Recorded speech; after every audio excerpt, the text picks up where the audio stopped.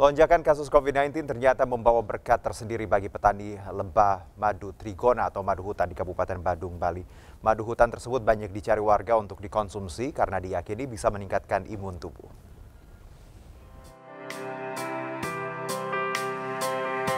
Naiknya permintaan terhadap madu trigona atau madu hutan, salah satunya dirasakan petani madu hutan di agrowisata Lebah Etno Bali, Banjar Cengkok, Desa Baha, Mengwi, Badung, Bali.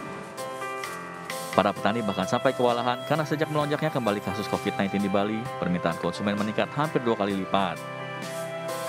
Sejak merebaknya varian Omikron, penjualan meningkat mencapai 150 hingga 165 liter per bulan. Di sisi lain, ketersediaan madu hutan masih sangat terbatas.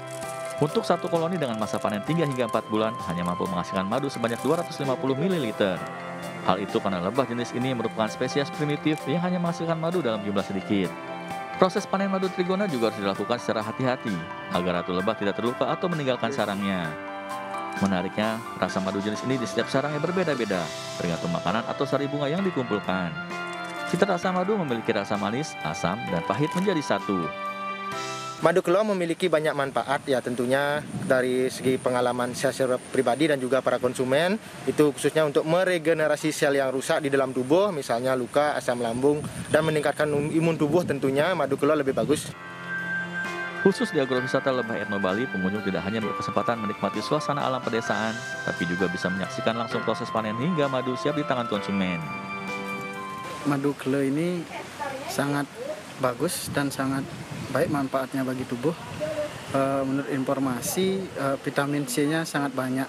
Saya mengkonsumsi madu itu karena uh, bisa menjaga imun tubuh dan apalagi di masa pandemi seperti sekarang itu bisa meningkatkan imun tubuh dan menjaga uh, tubuh tetap fit. Madu trigona laris dijual ke sejumlah kota-kota besar di Pulau Jawa, mulai dari Jakarta, Bandung, Malang hingga Surabaya, termasuk juga sejumlah kota di Indonesia bagian timur.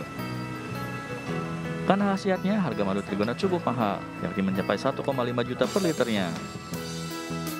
Dari Bandung, Bali, Bagus Alit iNews melaporkan.